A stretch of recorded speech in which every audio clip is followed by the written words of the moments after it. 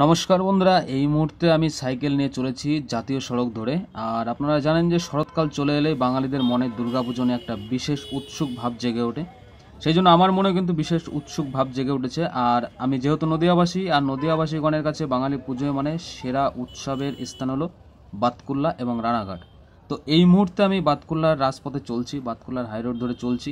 বাতকুল্লার যে বিশেষ বিশেষ যে নামকরা ক্লাবগুলোর পুজো হয়ে থাকে, সেই সমস্ত ক্লাবগুলোর কী কী ম্যানেজমেন্ট চলছে, কী কী ব্যবস্থাপনা চলছে, সেই সমস্ত বিষয়ে আজকে আপনাদের সামনে তুলে ধরবো।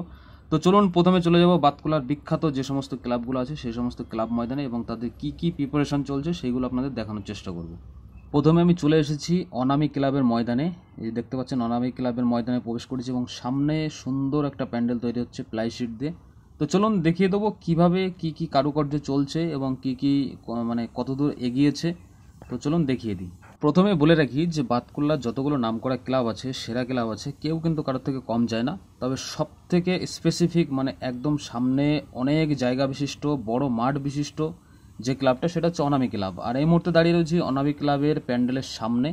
আপনারা দেখতে পাচ্ছেন, বিক্ষিপ্তভাবে চারিদিকে কাজকর্ম চলছে, অর্ধ অবস্থায় মানে অর্ধেক কাজ হয়ে গেছে এবং অর্ধেক কাজ এখনও বাকি আছে। তো এখন সকালের সময় আর এই প্যান্ডেলের যারা মিস্ত্রি আছে, তারা কিন্তু কাজকর্ম করছেন। তো ভিতরে গিয়ে আমি দেখব কতদূর কী কারুকার্য, কেমন কি হয়েছে। আর এগুলো দেখতে পাচ্ছেন, সব প্লাই শিট দিয়ে কিন্তু তৈরি করা, সুন্দর ডিজাইন অনেকটা মায়াপুর যে নতুন মঠ তৈরি হচ্ছে, দু হাজার তেইশে ওপেনিং সেই মঠের মতো অনেকটা কাটিং লাগছে, তবে সঠিক বলতে পারছি না কি থিম তো ভিতরে না যাওয়া পর্যন্ত অ্যাকচুয়ালি বুঝতে পারব না।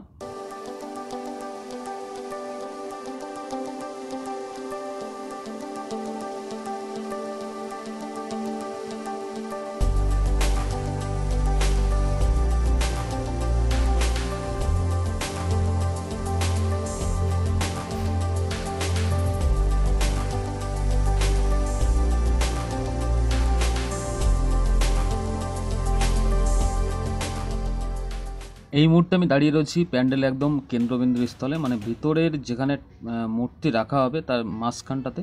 আর উপরে দেখতে পাচ্ছেন সুন্দর কারুকার্য করা চলছে মানে এখনও কমপ্লিট হয়নি, মিস্ত্রিরা কাজকর্ম করছেন এই পাশে।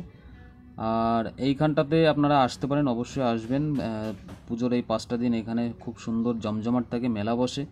এবং বিখ্যাত কিন্তু এই বাতকুল্লার পূজাগুলি। তো এইটা হচ্ছে অনামি ক্লাবের প্যান্ডেল হচ্ছে এখনও আনরেডি অবস্থায় আছে রেডি খুব শীঘ্রই হয়ে যাবে। কারণ বিগত কয়েকদিন ধরে একভাবে বৃষ্টি হওয়ার কারণে কিন্তু অনেকটা কাজ হয়তো পিছিয়ে গেছে। আর এইগুলো দেখতে পাচ্ছেন কত সুন্দর কারুকার্য সব এখনও প্যান্ডেলের সেটিং করা হবে। এবং ফাইনালি যখন কমপ্লিট হয়ে যাবে পুজোর মধ্যে তখন অবশ্যই আপডেট দিয়ে দেবো। তো এই হচ্ছে অনাবিক ক্লাবের প্যান্ডেল।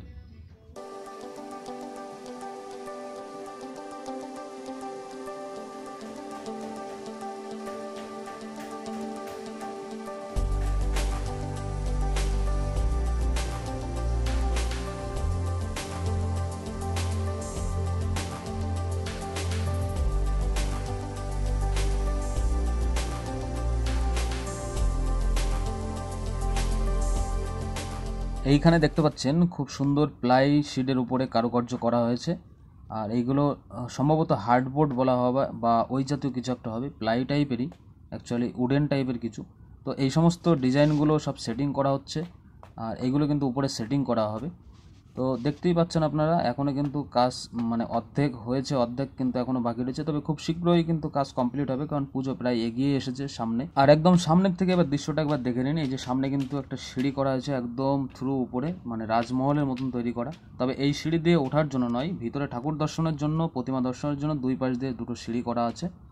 আর সামনে দিয়ে এন্ট্রান্স করেই ডান দিক দিয়ে এবং বাঁ দিক দিয়ে দুই দিক দিয়ে কিন্তু এক্সিট গেট আছে। বন্ধুরা, ভিডিওর লেন্থ অনেক বড় হয়ে যাওয়ার কারণে আজকে এই পর্যন্তই।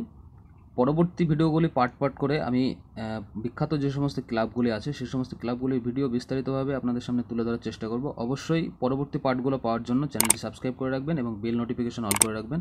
কারণ এটা শুধুমাত্র অনামি ক্লাবের চিত্র আপনাদের সামনে তুলে ধরলাম। এর পরবর্তীকালে যে সমস্ত, পরবর্তীকালে বলতে এর সাথেই যে সমস্ত বিখ্যাত ক্লাবগুলি আছে, বাতকুল্লা বিশিষ্ট এলাকাটায় তো সেই সমস্ত ক্লাবের চিত্রগুলো আপনাদের সামনে তুলে ধরবো। তার জন্য অবশ্যই আপনাদের বেল নোটিফিকেশন অল করে রাখতে হবে এবং চ্যানেলকে সাবস্ক্রাইব করে রাখতে হবে।